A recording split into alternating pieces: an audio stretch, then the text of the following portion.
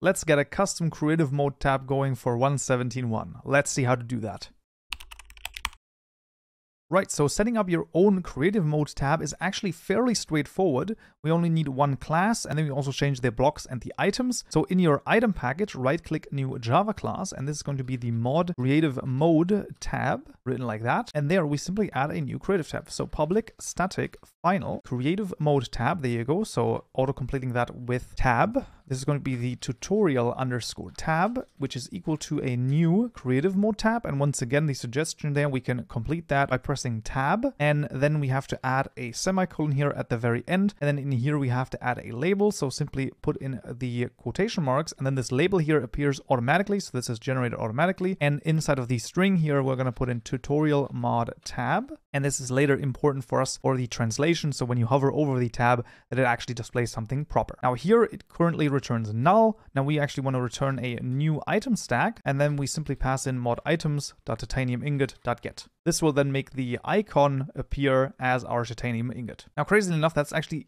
all that you need to add a new creative mode tab. If you want multiple creative mode tabs, you can basically simply copy this over, of course, and name this something different and also get a different label here. And then you can also change the icon. That is basically how you would add a second creative mode tab as well. Now, if we go into the mod items here, we can simply change the tab that we've passing in here to mod creative mode tab dot tutorial tab. As you can see, that works totally fine. So we can simply copy that over for all three of our items here. And as you can see, it all works. So those are now being displayed in our custom creative mode tab. Now for the blocks, this is a little more complicated. And what I'm actually going to do, because a few people have had some issues with that and they don't really quite know how to implement this. This is sort of, once again, a thing where some Java knowledge really is not only preferable, but almost uh, required because we can basically just add two of these methods. So we can basically copy both of those methods and we will paste them in with the same name. So now we have one register block method and one register block item method that are just normal, where we basically just pass in, for example, the mod creative mode tab dot tutorial tab. So down here we have those two.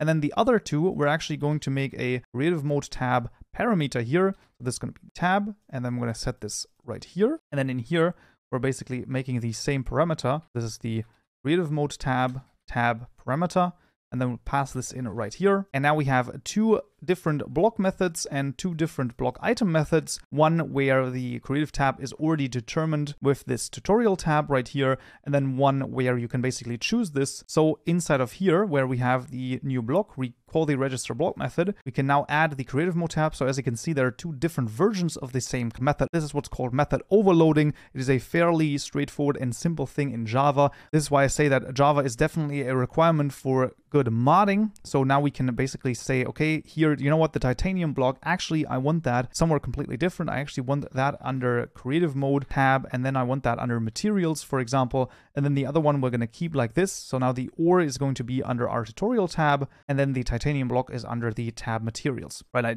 I wanted to show you that as well, because in the previous tutorials, a few people have had some issues with choosing what tab the blocks go into, and that's why I wanted to show this. Right, and last but not least, let's add the translation here, so we can simply copy over this line, and then we're going to change this, so this is item group dot tutorial mod tab, so this is the way that that works, and this is tutorial tab. So the translation here, as you can see, is a bit different from the other stuff. This is simply item group dot tutorial mod tab. So tutorial mod tab, tab is of course the label we've passed in here. And then item group is simply the first word here with a lowercase i and an uppercase g. So that is all that you need. And after having added all of that, let's see if it works. All right, we found ourselves back in Minecraft, and this is actually a very good sign. We have a second page here, and there it is, the tutorial tab with the titanium ingot as its icon and as you can see the titanium block is not in here is still under miscellaneous down here. As you can see that is a very easy way to basically pick where the blocks go and the items go as well. Right and that will already be it for this tutorial right here. I hope you found this useful and you learned something new. If you did i would of course appreciate a like